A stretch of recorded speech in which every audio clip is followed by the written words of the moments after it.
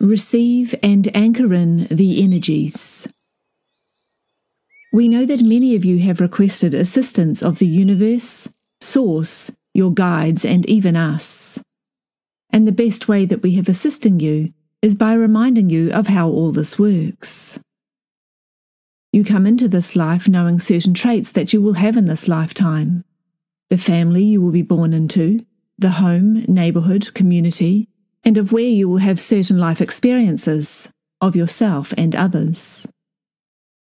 Often you will realize that there is something more once you have experienced your incarnation for a while, playing the game and following the societal rules. Scripted in this lifetime are some major events and your planned awakening. This you know because you are awake, and this did not happen by accident. Once you awaken, you realize that there are other ways of living your life and realizing your dreams. Ways where you could go to learn about how to navigate life joyously and freely that was not taught to you in your childhood. For as long as humans have been there on earth, you have looked to the stars, skies, and heavens for help. Assistance that we have always been offering energetically. We have always been listening and taking into consideration all your requests to live a better life there on earth. By sharing with you how to do it yourselves, we are giving you the keys to the kingdom. We are revealing to you that everything that had not been previously taught to you. From our point of view, you now only need to receive what you want to receive and live the life you want to live. And to do that, you must let go of anything you may be resisting in nature that includes your thoughts, beliefs, and emotions, and especially includes your judgments. You cannot want what someone else has and at the same time be a judgment of how they received it, and still be truly in alignment with living that life. Therefore, in order to manifest your life's dreams, you must release and not consider that there is less for you to do. By paying attention to what you are thinking and feeling, even though they may seem justifiable to you, by being willing to let go of what feels heavy for you, you can allow in some of those answered prayers. There will be some of you that are not yet ready to receive. However, you must have trust and faith that all your prayers are being answered and that everything is coming to you in the perfect timing. If you can do all the things that we have shared with you, you can live a happy life and manifest the life of your dreams. While waiting for one of these manifestations to emerge in your physical reality, have fun, relax, look at the clouds while listening to bird songs. You do not need to be in manifestor mode all the time in order to receive. By now, you have experienced enough in this lifetime to have asked for enough to have created enough. Therefore, you now only need to be more focused on the receiving mode that few people find themselves in on a regular basis. However, it is important to remember to receive. You have been facing the challenges of Earth and know that you have survived these challenges, getting stronger and finding that your strength truly lies within you. You are accessing more of your power when you connect within yourselves and look for that which is infinite, eternal, and all powerful. There are enough of you now doing that to affect the rest of the human collective. And we share with you that you are growing, expanding, and evolving on schedule. You are going above and beyond the call in many cases with your service, and as a result, you are becoming better manifestors. This means you can expect your continued journey to be smooth. Because of your positivity and your ability to have tapped into the energy of Source, others will want to listen to you. You who are awake and are a part of the awakened collective provide others with comfort, healing, and with solace. Your peace of mind is contagious, And when you spread it around, regardless of how you think it will be received, you bring more of it to yourself. You are there to access so much more than most humans who came before you ever did. And when you are following your excitement, when you are relaxing and engaging in self care, you are opening up to allow more in. And the changes that you want to see in yourself, in others, and in the world outside of you will all come easily. You need to listen to what you are being guided towards from within, and you must override the beliefs that are telling you that you should not do that for whatever reason, or that you cannot do it. Those beliefs do not serve you, and it is time to let them go. We also see that you are recognizing the significance of your thoughts and beliefs that do not serve you, and you are letting them go more easily without having to create a mess in your life that you are then required to clean up. We are happy to share with you that humanity is doing much better than you were a year ago. By continuing to evolve, and to evolve consciously is the most delicious experience you can have. When you want to grow spiritually, even if you only want that for yourself, it is still a desire that helps everyone in existence. Therefore, the universe orchestrates it with very little effort, and sometimes no effort on your part. We want to share this with you to assure those of you who think you are off track that you are on track. For those of you who would like to attain certain spiritual gifts, we assure you that you will have these gifts because you will use them to assist all of humanity. And so, you are all being taken care of spiritually. Even those who have no interest in spirituality will have their experiences that help them awaken. Therefore, do not worry or have concern about your loved ones who are not awake, nor worry about when your own spiritual breakthrough type of experience will happen. Everything happens because it needs to happen, because it serves humankind for these things to occur. Understand that when you say a prayer for everyone, or meditate for peace on earth, when you desire the oppressed to be free, that you have the support of the entire universe and many beings and collectives who operate within this universe. The number of you who are awake increases every day, and soon you will see a huge rise in the number of awakened souls there on earth, and you will feel the difference in the people who you come across, and more importantly, a difference in the air.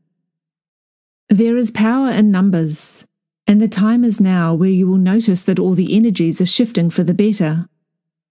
You have come this far, and you are on the verge of shifting your consciousness as a collective. No one and no thing can stop that from happening. Those of you who are already awake chose to be awake because you wanted this particular experience of helping others to awaken and to thrive as they continue on their journeys to the fifth density. We have so much love for humanity and so much love for your planet, and we know that at times you also have love for Mother Earth. We know how easy it is to become consumed with what is going on inside your heads, your computer screens, and certainly inside your homes, your businesses, your offices. However, for Mother Earth to be acknowledged as a beautiful life giving entity that she is, all that is required of you is to go outside and connect with some aspect of her. Notice how immediately your vibration shifts when you connect with her. Shower her with praise and gratitude every day, and look for opportunities to appreciate something about her as often as you can. Leading busy lives with so much on your minds are good reasons for you to do exactly as we suggest. Nature tends to move very slowly, you know that grass, plants, flowers, and fruits grow. However, you do not witness the growing.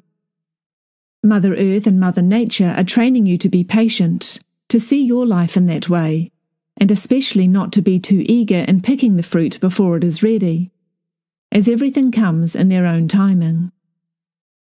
When you try to force something into place in your life, or try to rush something along, you know what happens. It does not go well because you are micromanaging that something, needing to control that something. You are not willing to accept things as they are and to simply enjoy the life that you do have as it is. Mother Earth is not only the one who gives you everything, she is also teaching you and sending you energies from her core. Her aura is the electromagnetic field that surrounds her, that also gives you many different gifts all the time.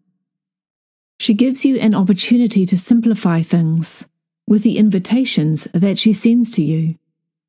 However, you must receive and accept those invitations, respond in the affirmative, and go and sit with her, be with her.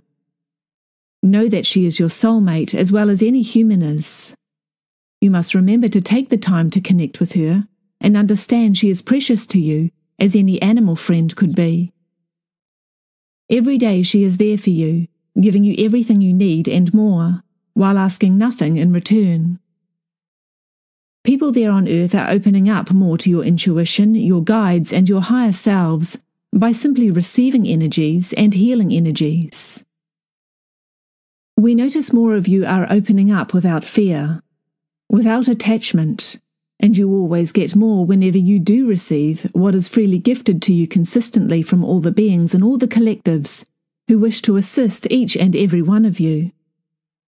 We have many ways of delivering energies to you, and when you open yourselves up to us, you are opening yourselves up to a multitude of galactic energies that are pouring in at this time from all the major star systems.